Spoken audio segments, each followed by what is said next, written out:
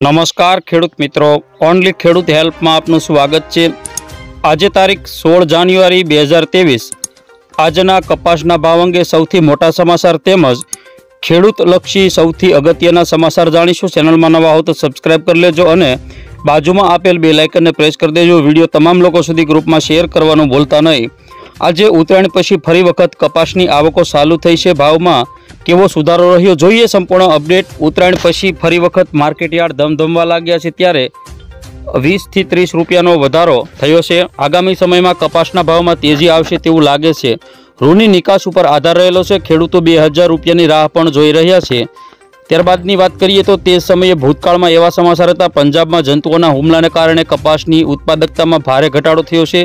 ખાસ વાત કે છેલ્લા ત્રણ વર્ષથી પંજાબ કપાસની ઉત્પાદકતામાં ખૂબ સારું પ્રદર્શન કરી રહ્યું હતું, પરંતુ આ વર્ષે રાજ્યની કપાસની ઉત્પાદકતામાં પિસ્તાલીસ ટકાનો ઘટાડો નોંધાયો. પંજાબ એગ્રીકલ્ચર ડિપાર્ટમેન્ટ ડેટા અનુસાર, રાજ્યમાં આ વર્ષે પ્રતિ હેક્ટર ત્રણસો ત્રેસઠ કિલોગ્રામ, એકસો સુડતાલીસ કિલોગ્રામ લેન્ડ પ્રતિ એકર સરેરાશ ઉત્પાદકતા નોંધાઈ. કાસા કપાસની ઉત્પાદકતા એક હજાર નેવ્યાસી કિલોગ્રામ પ્રતિ હેક્ટર નોંધાઈ હતી. ત્યારબાદના સમાચાર જોઈએ તો ઠંડીએ પચાસ વર્ષનો રેકોર્ડ તોડ્યો. નલિયામાં પચાસ વર્ષનું સૌથી ઓછું તાપમાન નોંધાયું.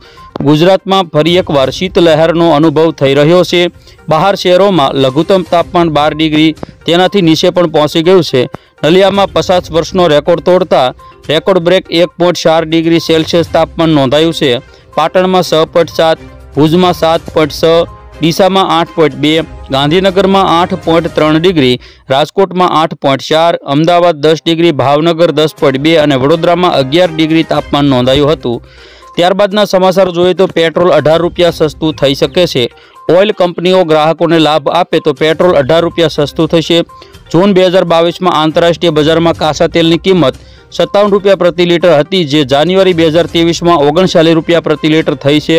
દેશમાં પેટ્રોલ ડીઝલની કિંમતો યથાવત છે જ્યારે ક્રૂડ સસ્તું છે ત્યારે સરકારને પેટ્રોલ ઉપર ઓગણત્રીસ અને ઓઇલ કંપનીઓ છ એકતાલીસ રૂપિયાથી વધુ કમાણી કરી રહી છે. અર્થશાસ્ત્રી અરુણ કુમારના મતે, કંપનીઓ એટલી નફાકારક છે કે પેટ્રોલ અઢાર રૂપિયા સસ્તું કરી શકે છે. ત્યારબાદના સમાચાર જોઈએ તો સોનાના ભાવ સૌથી ઊંચી સપાટીએ વિશ્વમાં આર્થિક મંદીના ભણકારા અને દેશમાં લગ્ન સિઝનની શરૂઆત થતાં સોનાના ભાવમાં ઉછાળો. મલ્ટી કોમોડિટી એક્સચેન્જ, એમસીએક્સ પર સોનું છપ્પન હજાર પાંચસોના સ્તરે કારોબાર કરી રહ્યું છે. સોનાની કિંમત છપ્પન હજાર પાંચસો એક રૂપિયા પ્રતિ દસ ગ્રામ ઓલ ટાઈમ હાઈ ઉપર પહોંચી ગઈ. ચાંદીના ભાવમાં પણ સમકારો નોંધાયો છે. સિત્તેર હજાર રૂપિયા પ્રતિ કિલોના સ્તરને વટાવી ગઈ છે.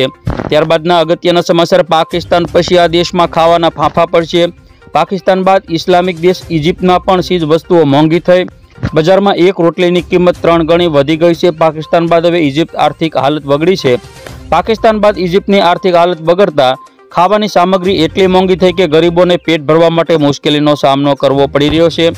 ત્યારબાદના સમાચાર, ડુંગળીના ભાવમાં સતત ઘટાડો. ભાવનગર જિલ્લામાં ડુંગળી પકવતા ખેડૂતોને આર્થિક ફટકો પડવાની શક્યતાઓ ડુંગળીના ભાવમાં વીસ કિલોના એકસો પચાસથી બસો પચાસ રૂપિયા નીચે ગયો છે. પચાસ હજાર ડુંગળીના થેલાની આવકમાં ભાવ આટલા થયા તો બે લાખ ડુંગળીની બોરીની આવક થશે. તો ભાવ કેટલા નીચા જશે? વિશારથી ખેડૂતો ચિંતામાં મુકાયા. આ વર્ષે ભાવનગર જિલ્લામાં મબલક ડુંગળીનું ઉત્પાદન થવાની પણ શક્યતાઓ છે.